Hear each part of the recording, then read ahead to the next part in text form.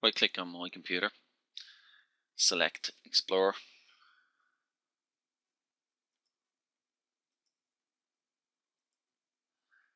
When the drives pop up, you'll see your drives C and F. In this case, we're going to select the F drive.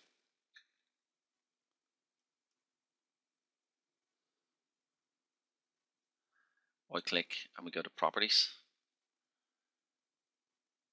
You can see the general tab, tools, all the tabs up there.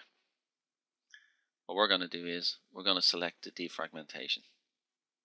So we click the defragment now button.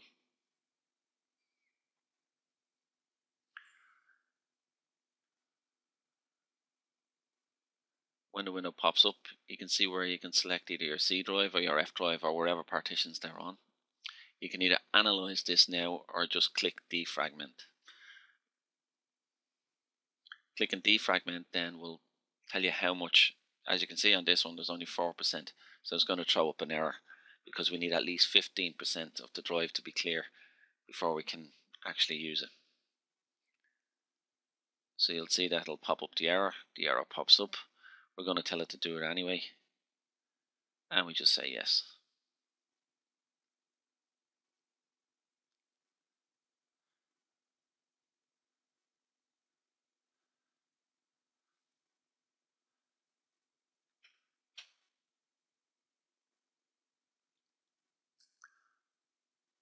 I'm going to pause it now because I'm actually finished doing this and uh, you can continue on and let your drive finish off.